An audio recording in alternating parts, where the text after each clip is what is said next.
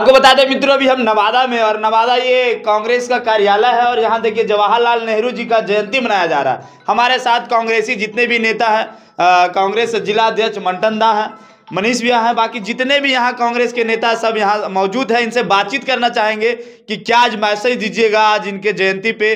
हम इनसे बातचीत करते हैं। स्वागत है सबसे पहले न्यूज़ में। आपको भी स्वागत कांग्रेस कार्यालय में आने के लिए। और आज आदरणीय स्वर्गीय प्रधानमंत्री जी का पूर्व प्रधानमंत्री जी का आज यहाँ जयंती चाचा नेहरू जी का है। हम लोग धूमधाम से जिला कांग्रेस कमेटी के कार्यालय में मना रहे हैं और हम लोगों का आगे का कार्यक्रम भी आपको बताए होंगे किसी स्कूल में हम लोग आज जा रहे हैं। बच्चों के बीच पाठ्य सामग्री का वितरण करेंगे और बच्चों की जहाँ तक जो आपने देखा जी। कि जवाहरलाल नेहरू जी। बच्चों के लिए प्रिय चाचा नेहरू के नाम से जाने गए। जी। तो इनको प्रधानमंत्री जब बने तो जितना पूरे देश में ज़ीरो से जी। एक एक ज़ीरो से आज जितने भी देश में जितने बड़े बड़ी फैक्ट्री चाहे वो एम्स हो चाहे को, कोई चीज़ का हो वो आज भी उनका योगदान सराहनीय रहा। और आज तो लोग देख रहे होंगे कि आप जहाँ भी जा रहे हैं लोग ये वो काम करेंगे।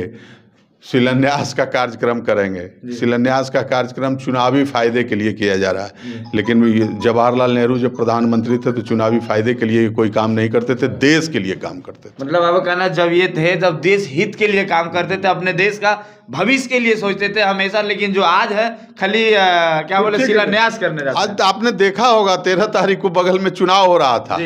और हमारे देश के जो प्रधानमंत्री हैं बगल में यहाँ बन दरभंगा में आए हुए थे शिलान्यास करने के लिए। कई बार शिलान्यास होगा देख ही रहे हैं आप लोग। तो बस चुनावी फ़ायदा के लिए। मतलब चुनावी फ़ायदा के जी। हमारे प्रधानमंत्री जवाहरलाल नेहरू जी जब थे तो देश को ज़ीरो से हीरो की ओर इतना जो प्रगति पर देश है आज जवाहरलाल नेहरू का दिन है। जवाहरलाल? नेहरू का दिन है। एक चीज़ और पूछना चाहते हैं आज ये बाल दिवस इनके उपलक्ष्य में मनाया जाता है चाचा नेहरू नाम दिया है उस पर बाल दिवस आज मनाया जाता है बच्चे लोगों को क्या सीख दीजिएगा वैसे बच्चे और वैसे गार्जियन को क्या सीख दीजिएगा जो छोटे छोटे बच्चों को काम पे भेज देते हैं पढ़ाई लिखाई से दूर रखते हैं। देखिए हम लोग तो चाहेंगे और हम लोगों का ये मोटो रहता है कि जितने भी बच्चे हैं कम से कम उनके गार्जियन उनको पढ़ाएँ लिखाएँ और योग्य बनावें। जब काम करने का मान लीजिए बाल श्रम यदि बाल श्रम लोग करते हैं उसका तो एकदम नाजायज है और उसको रोकने का हम लोग जहाँ भी देखते हैं हम लोग विरोध करते हैं उसका। और जब उम्र हो जाए पढ़ा लिखा के आप उस लायक बनाइए और उसके बाद आपका बेटा नाम करेगा आपकी बच्ची नाम करेगी और देख भी रहे हैं लोग कर रहे हैं। जी। तो इनके रीजन में ये सब हुआ है और उसके बाद हम लोग कभी भी बाल श्रमिक को अच्छी नहीं करते हैं और बाल श्रमिक को जहाँ भी हम लोग देखते हैं प्रयास करते हैं उसको रोकने का। रोकने का। एक देश की तरफ़ से कांग्रेस कमेटी की तरफ़ से स्कूल में जाकर कुछ वितरण भी करने वाले हैं। देखिए हम लोगों को बिहार प्रदेश कांग्रेस कमेटी के निर्देशानुसार डॉक्टर अखिलेश प्रसाद सिंह हमारे अध्यक्ष हैं उनके निर्देशानुसार हम लोग जिला कमेटी के लोग अभी जाएँगे स्कूल में और पाठ्य सामग्री का वितरण करेंगे बच्चों के बीच। जो। बच्चे जहाँ मान लीजिए नहीं पढ़ पाते हैं नहीं लिख पाते हैं हम झुग्गी में भी जाएँगे गरीबों की बस्ती में भी जाएँगे और हमारा ये कार्यक्रम चलते रहेगा। और हम लोगों ने कई बार इस तरह का कार्यक्रम चलाया है। और उसी के माता माता दी लोग हम लोग यही सब काम करेंगे। बहुत सारे लोग आते हैं जो फूल माला चढ़ाकर जैसे अभी आप है और चले जाते हैं। लेकिन आप एक कदम उठाए वैसे व्यक्ति को क्या कहना चाहेंगे? क्या लग रहा है? पढ़ने का सबका अधिकार है जो झुग्गी झोपड़ी में जैसे अभी बात किए क्या उन लोग के लिए हर इंसान जिसके पास सक्षम है बढ़ चढ़ कर हिस्सा लेना चाहिए? देखिए हम लोग आज कांग्रेस पार्टी के हम जिला अध्यक्ष हैं। जी। लेकिन मैं बता दूँ मैं बहुत दिन से ये सब काम पर रुचि रखता हूँ। आप मेरे जहाँ से मैं पहली बार जिला पार्षद बना था काशी चक से वहाँ कुछ बच्चे विकलांग थे और पढ़ने के लिए इच्छुक रहते थे।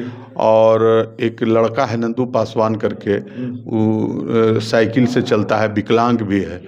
उसको हम सालाना जितना किताब लगता था उस टाइप का बहुत लोग हैं मैं उसका उदाहरण देता हूँ। बहुत उस टाइप के लड़का हैं जो जिसको हम अपने खर्च से ये नहीं कि कहीं से कुछ अति हम अपने खर्च से उसको सालाना हम किताब पहुँच उपलब्ध करवाते थे और उसके बाद अभी वो शिक्षक भी हो गया था मतलब आपके द्वारा पढ़ाया गया सालाना हाँ। खर्चा देते थे और आज पढ़ा लिखा के उनको शिक्षक बना हाँ, दिया वो शिक्षक भी हुआ लेकिन बेचारा कुछ सरकारी मार या वो जो पंचायत लेवल का जो अच्छी होता है उसमें आज उसकी चटनी हो गई मुझे मिला था एक दिन डीएम साहब के यहाँ। हाँ। तो खैर हम लोग उसके प्रयास में लगे रहते हैं कि अभी उसका हम अथी के यहाँ डीओ के शिक्षा विभाग के अथी में ला के उसका दिए हैं। देखिए क्या होता है। और हम लोग उस टाइप के लोगों को मदद करते हैं। और इस ये नहीं जो जो पढ़ने का इच्छुक है कोई भी लड़का ये नहीं कि मैं ये चाहता हूँ कि कोई गरीब गुरबा किसी जाति का हो मैं जाति की बात नहीं करता। कोई जाति का यदि गरीब उस टाइप का है मैं उसको हर संभव प्रयास करूँगा मुझसे मिले। और यदि हम जान गए तब तो हम अपने पहुँच जाते हैं। और नहीं जानते हैं तो हमसे मिले। हम उसको खूब मदद करेंगे ज़रूर मदद करेंगे। चलिए बहुत बहुत धन्यवाद। अभी देखिए मनीष जी है। क्या कुछ कहेंगे मनीष जी? आज कांग्रेस कार्यालय में जवाहरलाल नेहरू की जयंती मनाया जा रहा है। अध्यक्ष जी के द्वारा कॉपी किताब हर जगह बंटवाया जा रहा है। क्या लग रहा है कांग्रेसी हर जगह आगे निकल रहे हैं? हाँ तो हम निकल रहे हैं हम लोग साथ चल रहे हैं साथ। चलिए 2024 में पीछे आ गए। आप पीछे हैं? निन्यानवे पर कहा रहा है आओ आगे जाएँगे। अभी तो बेमानी के लिए मोदी। कौन बेईमानी किया? नरेंद्र मोदी।